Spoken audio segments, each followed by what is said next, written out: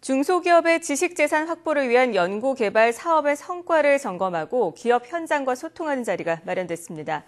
특허청은 지난 29일 경기도 안산시 계양전기에서 현장 간담회를 열고 상반기 중소기업 IP R&D 지원 사업의 성과와 앞으로의 지원 방향에 대해 논의했습니다.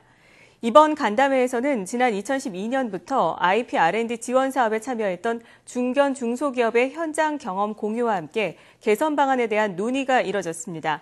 특히 이번 간담회에서는 그동안 기술 특허와 별도로 인정해왔던 디자인 권리의 중요성을 강조하고 이에 대한 지원 전략을 논의하는 기회도 마련됐습니다.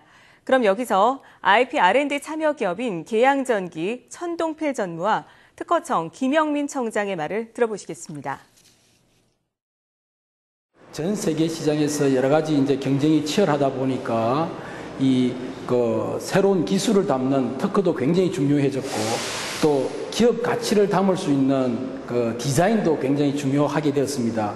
그래서 요번 어 저희가 생각했던 것은 기술과 디자인을 융복합해서 어 새로운 그 지적 재산권을 창출하자 하는 어 취지에서 본 과제를 참여하게 되었습니다. 특허뿐만 아니고 디자인과 관련해서 외국 기업으로부터 문제 제기를 받은 적이 있었습니다.